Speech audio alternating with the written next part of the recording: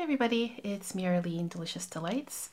So today I'll be talking about my Jean Art or Jean Arthez collection. Uh, one of you guys in the comments, uh, a viewer of mine who I've had for a while, has told me that it's actually pronounced Jean Art.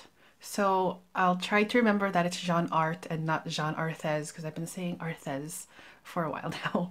Uh, but anyways, thank you to the viewer who pointed that out to me. So yeah, I will be talking about my Jean art collection. I have quite a few here.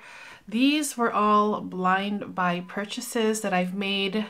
I was just very curious about this collection, uh, mostly because they are very affordable scents and I love finding perfumes that smell good but they're also affordable. So yeah, I have 14 fragrances here uh, that I'll quickly talk about. They are ranked from my least favorite to my most favorite and I kind of want to do these in some categories, uh, the misses, the middle of the road scents, and then at the very end I'll talk about my top five. So let's begin first with the misses, uh, ones that I did not enjoy so much um, from this collection. In last place, we have Cassandra Roses Blanches, uh, which means white roses. And I thought I would love the scent um, because of the notes. Um, there's cassis, pear, lychee, and peach, among other notes as well. Uh, but those I think are some of the main ones. And it doesn't smell horrible. It's not terrible or anything. It's the opening that I don't really enjoy with this one. It's kind of sharp. There's something about this opening that doesn't agree with me on skin. It's just kind of harsh and sharp in the opening. As it dries down, it does get better, but it's just not my favorite one of these. I wouldn't buy it, although I paid probably like five euros uh, for this one. So I didn't lose too much, but yeah, it was just kind of a disappointing one. Uh, white roses, I love white roses. I love them because I see them very often in the Netherlands where I live on the roadside. My husband gets me white roses as well um, just out of the blue because maybe he'll see it on the way home from work or something and he'll pick me some up. So uh, that's why I wanted to love this, but I don't. But it's not like bad. It's just not for me. So that's Cassandra Roses Blanches. Now another one that didn't work out for me unfortunately and this is one that I also thought I would love but I just didn't. it's called a Guipure uh, Ylang and Vanilla. Oh, Ylang Vanille. So I thought I would like this because I love the notes of Ylang Ylang and Vanilla. Um, again, it's not like a horrible scent. It doesn't smell offensive or super terrible or anything, but there's something in here, especially in the opening, that is kind of strange. It kind of gives me the feeling of almost a minty fresh scent which paired with vanilla and ylang ylang and coconut, it didn't really work on my skin. Mm, I don't know. it was just something strange like a spearmint and there's no like minty notes as far as I remember with this one. Um, but on skin, it was just a bit strange for me and I didn't really enjoy it. So there's also some notes of uh, coconut in here, and of course the ylang and vanilla. It's just one that I thought I would love and I don't. So this one for me was a miss. Now the ones I'm going to talk about uh, now are ones that were kind of all right. They were kind of middle of the road for me. They weren't bad. They weren't terrible. Nice pleasant scents, but um, nothing like amazing or mind-blowing or anything. So I have some here from the Boum collection. Um, I will say that I do enjoy the bottle designs for sure. Uh, I have had them back here. Uh, today I have my Chanel um, Chance collection up here. Um, but anyways, uh, Boum Candyland. So again, the bottle is super, super cute. It has like this little pin here. And this one here has some notes of milk and black currant, toffee, and melon. and also cotton candy and vanilla. And that sounds really, really nice. And it is a very nice scent. Um, but it's just a very simple candy-like scent. It reminds me of opening a bag of Halloween candy and you get the scent of all mixed candies like lollipops, especially lollipops, hard candies, fruit candies. So if you just want to smell like straight up candy, you might like this one, but it's just probably not something I would reach for often, although I think it's pleasant and there's, yeah, there's nothing really wrong with it, but I would probably reach for other candy-like sweet uh, scents before this one. Okay, so another one from uh, the Boum collection is called Sweet Lollipop. This is one that I've had the longest out of my uh, all of these ones.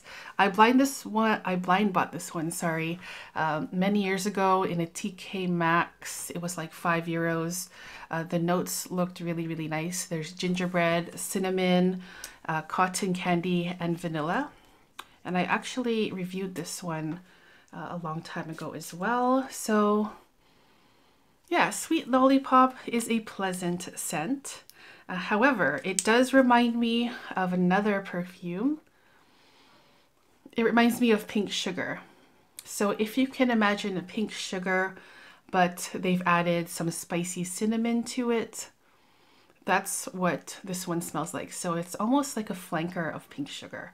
And I do like pink sugar, but I would probably reach for the original pink sugar first over this one. But I think this is a very fun, pleasant, super sweet cotton candy scent with uh, the same cute bottle. But yeah, it's a nice scent, uh, but I've had this for a long time and it's pretty full there, so you can tell that I don't wear it uh, very often. But yeah, it's okay. It's nice.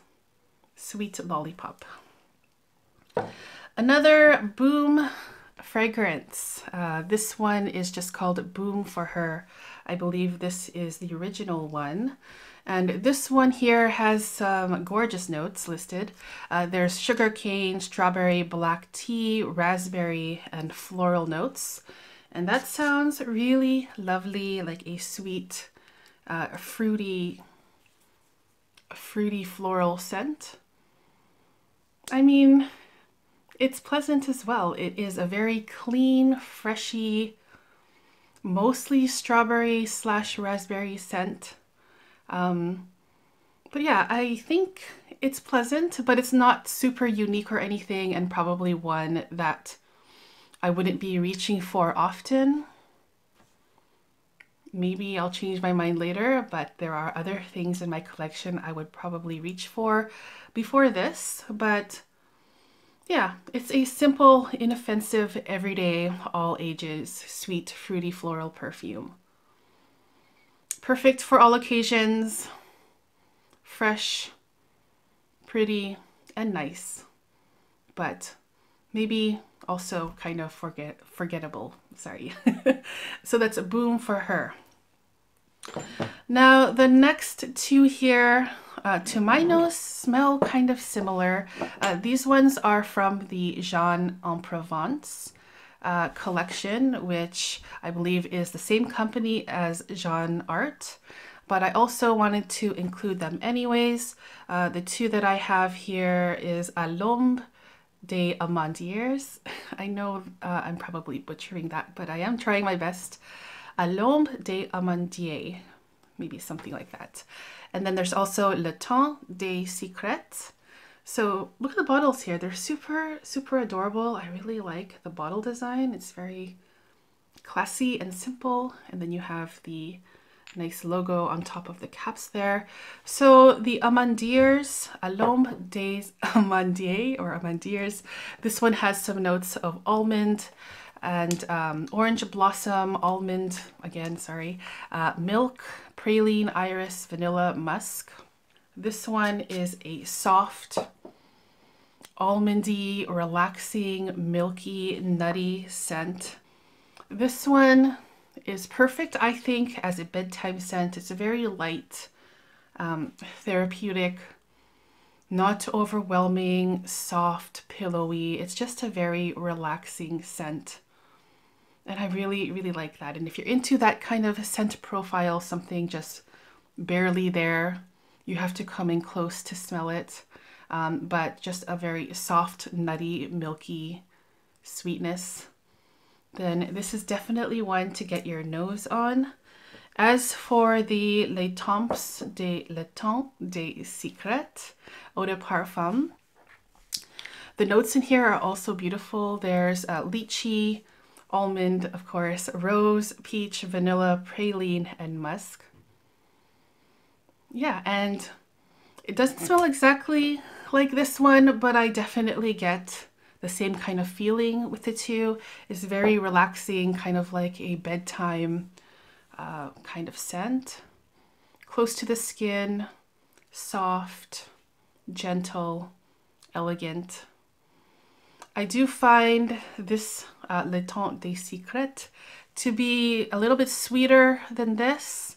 And also I checked on the uh, section where it says smells like or similar to on Fragrantica and some people have voted that this smells like Flowerbomb from Viktor and Rolf.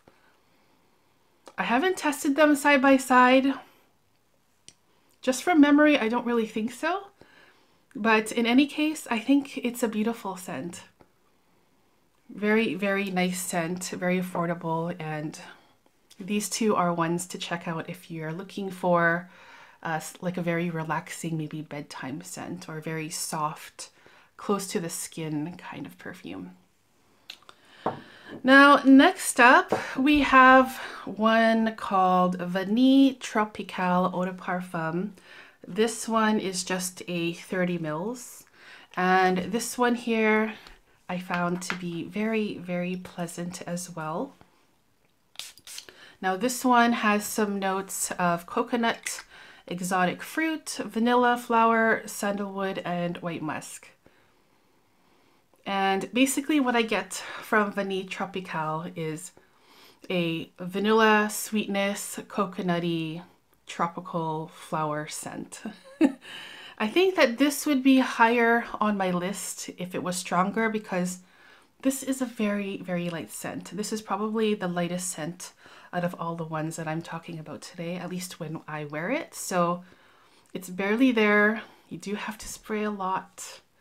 It's not one that really projects a lot or lasts a long time. It's kind of like a pick-me-up scent that smells of vanilla and coconut. So yeah, I think that when it comes to this scent profile, I do own other coconut vanilla scents. Uh, I would probably reach for those first before this one, but it is a pleasant scent, very easygoing, very intimate and soft, but one that I probably wouldn't reach for very often. Um, so that's a Vanille Tropicale. Okay, so we're almost at the top five. There's one more before I get into that. And this one is called Cassandra Rose Jasmine. This is uh, from the same collection, of course, as the other one I talked about, the first one, the Roses Blanches. It's an eau de parfum. And Rose Jasmine has some notes of uh, jasmine tea, uh, pear, uh, jasmine, of course, and rose, of course, white peach and musk. And when I tested and wore this one, this one reminds me a lot of another scent that I absolutely love. It doesn't smell exactly like it, but it reminds me of Trussardi Donna Eau de Toilette. And I have talked a lot about that one in the past on my channel. So this one gives me those same vibes. It is a fresh, fruity jasmine and rose scent. You definitely get the jasmine tea note in here. And if I remember right, uh, the Donna Eau de Toilette also has a jasmine tea note in there. And it is stunning, you guys. This is absolutely beautiful. It's refreshing. It's easy to wear. It's super pretty. And yeah, it is just basically a gorgeous uh, jasmine almost transparent, refreshing, cooling, floral, sweet scent. Lovely, lovely, lovely. So that's uh, Rose, Jasmine, Cassandra.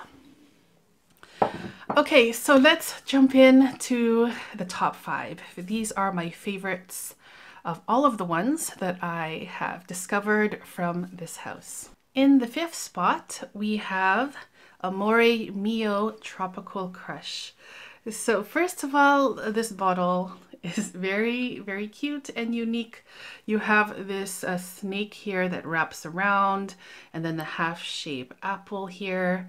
And then you have like the seeds of the apple kind of grooved in, in there. I guess some people might find this tacky, but I don't really mind. Tacky sometimes is cute. And I really, really like this one. So this one actually reminds me a lot of another scent that I own. Um, but that one I left in Canada. And it reminds me a lot of Escada Taj Sunset. And it was discontinued like a long time ago, but I believe they brought it back now, and I'm not sure if it's been reformulated. Uh, but this smells like the original version of Taj Sunset. It has some notes of nectarine, mango, raspberry, milk, apple, cacao, and musk. And basically, this is a juicy, sweet, fruity, ripe scent. Super delicious. It makes me think of a tropical cocktail. It reminds me of fruit syrup as well, with all these different types of tropical fruits. I also smell guava in here. It's not a listed note, but when I first tried it, uh, I was thinking of guava, maybe some lychee, but just a mix of ripe fruits mango as well. It is stunning, you guys. so if you liked Escada Taj Sunset, you might want to give this a try. Uh, I think this one was around like mm, 8 euros or something like that. So they're pretty close. I haven't tried them side by side, but they are close. And I think it's super fun, not so serious, sweet, fruity, simple, and fantastic. So that's number five, Amore Mio Tropical Crush. In number four spot, we have another one of the Boum fragrances. This one surprised me actually. This is Boum Savon. And this one to me basically smells like a bubble bath. so this one has some notes of almond, florals, lily of the valley, water lily, and musk. It is clean, fresh, musky, and it's perfect as something you can wear just when you're out of the shower, something you can wear when it's super hot and you don't want something so heavy or thick, just a nice, clean, fresh scent that smells soapy as well, but in the best way possible. So yeah, Boum, uh, Boum Savon. In the third spot, we have one called Pavlova. And so this is part of the collection called Tea Time à Paris. Uh, this bottle here is very different and unique. I adore the color of the bottle. It makes me think of strawberries and cream. It makes me think of strawberry shortcake.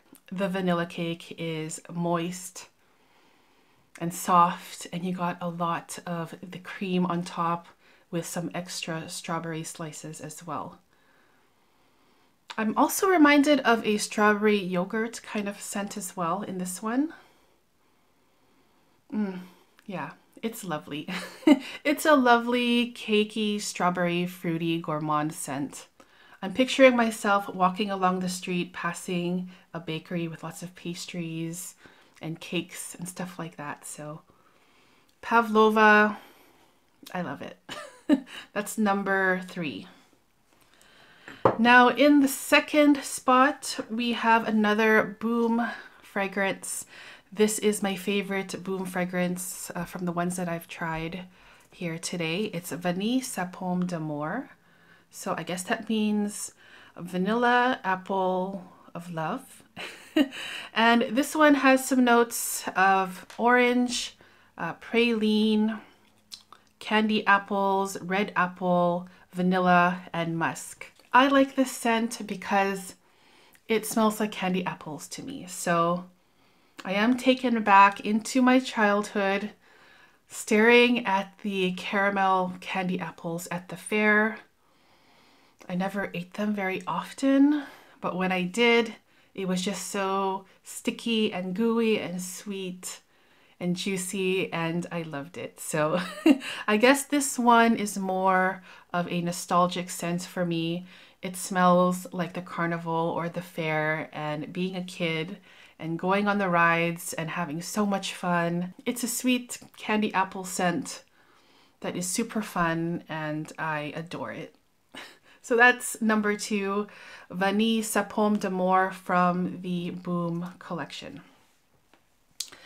Now, finally, we're at the number one spot. This is my favorite Jean Art fragrance. This one I got maybe early last year or maybe two years ago, and it's called Macaron Amande.